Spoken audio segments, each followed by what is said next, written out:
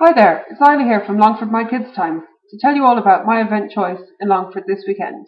In Cliff on Saturday and Sunday, the Columkill Ploughing and Heritage Festival takes place. There's a fun-filled schedule for the whole weekend, including traditional ploughing, vintage machinery, and lots of fun for the kids. Make sure you enter our great competitions on the main site this week, and during the week stay up to date with our feeds on Facebook, Twitter, and on the main site. That's all for this week. We'll see you next time. Thanks a lot. Bye bye.